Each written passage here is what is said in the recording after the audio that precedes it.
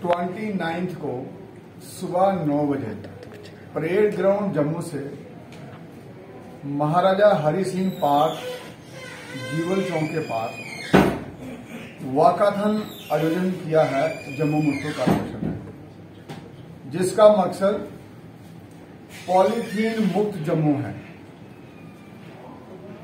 Polythene मुक्त जम्मू के लिए जम्मू म्यूनसिपल कॉरपोरेशन ने 24 अप्रैल को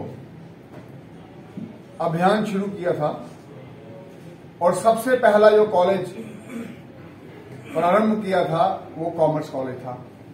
उसके बाद यूनिवर्सिटीज सभी colleges higher secondary school schools और प्राइवेट इंस्टीट्यूशंस सभी के साथ संपर्क किया। और इस पूरे परिक्रम में कम से कम बीस हज़ार स्टूडेंट से इंटरेक्शन की, जिसमें एक उनको डॉक्यूमेंट्री बताई गई और एक पॉलीथीन का ऑल्टरनेटिव डीआरडीओ द्वारा निर्माण किया हुआ, वो भी बताया गया। ये सब प्रक्रम से हम कम से कम डेढ़ लाख लोगों के घरों में सीधे सीधे पहुँचे। न्यूज़पेपर में भी इसका प्रचार हुआ।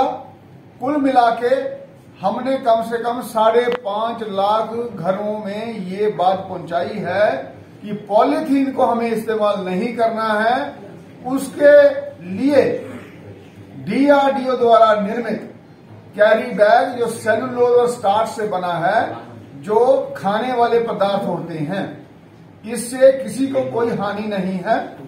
ना ही जानवरों को, ना ही पानी के स्पीसीज को, जिसको हम मैरीन स्पीसीज कहते हैं, ना ही इससे पानी प्रदूषित होगा, ना हमें इंसानों को इससे कोई खतरा है, और ना ही हवा को। और इस प्रकार से पूरा वातावरण हमारा इन्वायरमेंट सुरक्षित रहेगा, और सिर्फ़ हमारे एक सहयोग से जब हम ये ठान लेंगे I will make a change मैं बदलाव लाऊँगा। और मैं सभी लोगों से ये आह्वान करता हूँ जिस तरीके से आपने समर्थन दिया है इस पूरे अभियान के लिए, उसके लिए मैं आपका धन्यवाद भी करता हूँ और साथ में ये आशा भी करता हूँ कि आने वाले समय में आप इसी पॉली बैग को, ये इसी कैरी बैग को इस्तेमाल करेंगे और अपने शहर को पॉलीथीन मुक्त बनाएँगे।